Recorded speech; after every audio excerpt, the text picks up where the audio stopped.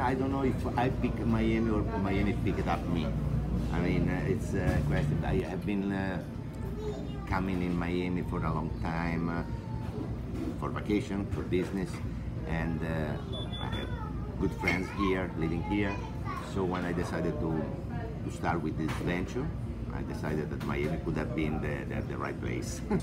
the focaccia genovese is the one that uh, someone call uh, focaccia bread that, that is very popular in my, my hometown and uh, we use uh, all the day long uh, starting from the breakfast we put in the, in the milk and coffee or at 11 we put uh, we, we have with a glass of white wine and you know anytime is good for a, a good focaccia in Genova.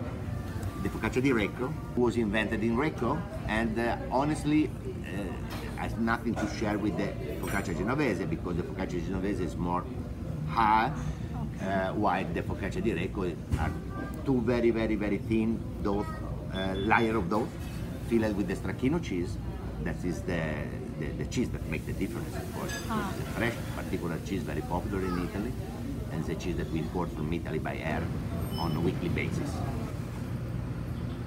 yeah, because it's, it's the job for where I work in Italy. So for three years and a half, I just make focaccia or focaccia di Recco, bread, pizza, stuff just for baker. I don't even have nothing about the, the restaurant. The restaurant is a new part for me. It's, I started here from the restaurant, so I moved in the kitchen and cook. My, my job exactly it's this one. This is my job.